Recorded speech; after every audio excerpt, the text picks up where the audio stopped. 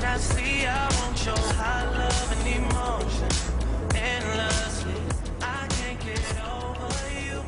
Well, good morning. Uh, you know, cancer is something, of course, that uh, affects so many, especially it affects so many females.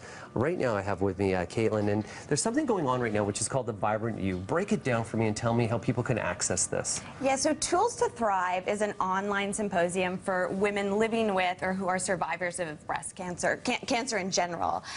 And what this is, is every day we have a different expert featured on the site, and their expertise range from um, body image, sexuality, health and wellness. And, and for that day, you can access that expert's lectures and all their materials for free. How long does it run?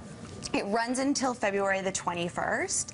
Um, and the great thing is, is that wherever you are in your uh, cancer treatment journey, whether you're in hospital, whether you're at home, whether you are well and somewhere with better weather than here, Yeah. um, you can access this symposium and be a part of it. And it's from the inside out. Is really that's what you cover from the inside out. Absolutely, from the inside out. Nikki's here, and she's a part of today. Nikki is our expert for today.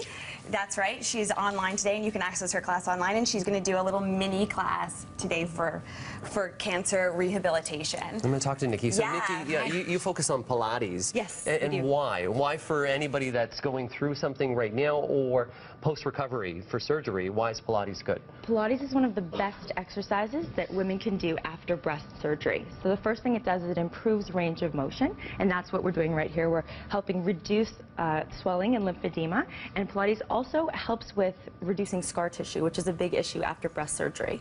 And it also, in terms of, there's almost a spirituality to it too. It helps with breathing as well. Totally. Breathing and just body awareness, reclaiming your body. There's a lot of fear sometimes that women experience after losing a large part of their mobility, and this is something that helps them reclaim that and get back into their bodies and feel basically it improves their entire well being. Okay, and so you're going to show us three moves right now, but there's a 17 minute video online people could access today. That's right. Just today uh, for the Tools to Thrive symposium, anyone can access this video, and it is a 17 minute video basically going into much greater detail about all these exercises that we're going to be showing you today. First one right there is. Arm circles. Okay. So uh, right now, these women are probably feeling this quite a lot, right, ladies? yeah. It looks easy, but it isn't. Yeah. So their legs are in the air. They're keeping their core really tight right Engaged, now. yeah. So that's really all Pilates moves come from the core. They're circling now. If someone's just gone through breast surgery, these women are both amazing, brave survivors.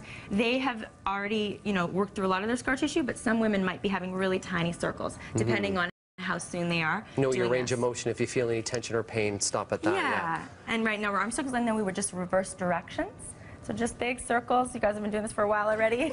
Yeah. What about snow angels? That's your next yes, move? snow Yeah. angels. So for now, why don't we give your abs, abs a break here? You can put your feet back on the floor. And all they're doing is they're going to keep their palms on the mat, sweep your arms wide like you're making a snow angel here.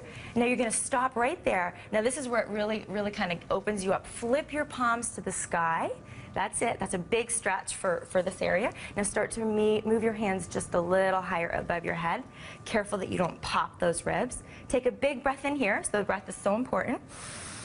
And now slowly bring those hands back down.